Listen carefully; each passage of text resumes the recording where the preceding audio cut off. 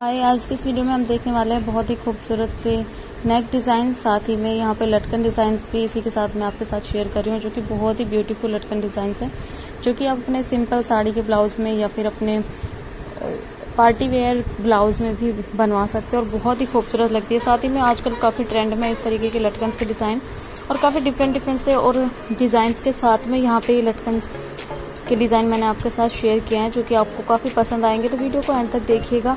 और अगर आपको ये डिज़ाइन पसंद आए तो वीडियो को लाइक, शेयर, चैनल को सब्सक्राइब ज़रूर करिएगा।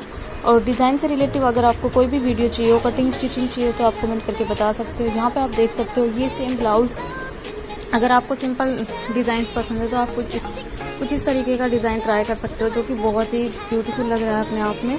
यहाँ पे आप देख सकते हो। बाकी लटकन आप किसी भी अकॉर्डिंग यहाँ पे देख सकते हो। हार्ट की शेप में लटकन का डिज़ाइन दिया गया है, जो कि बहुत ही प्रेटी लग रहा है। साथ ही में अगर आप चाहो तो सिंपल में भी रख सकते हो। बाकी लटकन और डोरी का जो डिज़ाइन है, उससे आपके ब्लाउज को और भी चार चाँद लग जाते हैं और उसकी खूबसूरती जो है वो और भी ज़्यादा बढ़ जाती है। तो आप किसी भी तरीके के साड़ी के ब्लाउज में इस तरीके के डिज़ाइन ट्राई कर सकते हो और लटकन लगवा सकते हो। बहुत ही प्रेटी लगती है। साथ ही में आपकी चॉइस के ऊपर है, यहाँ पे सभी तरीके से मैंने आपके साथ शेयर किए हैं, जो कि सिंपल में भी है और वेस्टर्न में भी है।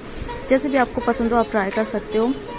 डेली वेयर साड़ी में भी आप इस तरीके के ब्लाउज जो हैं, लटकन के साथ में बनवा सकते हो। बहुत ही खूबसूरत लगने वाले हैं। बाकी अगर आप चाहो तो आप अपनी कुर्ती में भी नेक में इस तरीके के डिज़ाइन ट्राई कर सकते हो। काफ़ी प्यारे लगेंगे। तो अगर आप भी इस तरीके के डिज़ाइन पहनना पसंद करते हो और आपको भी डिज़ाइनर ब्लाउज और हैवी लटकन पसंद है तो आप ट्राई ज़रूर कीजिएगा और काफ़ी ब्यूटीफुल सा लुक आता है आपके ब्लाउज का।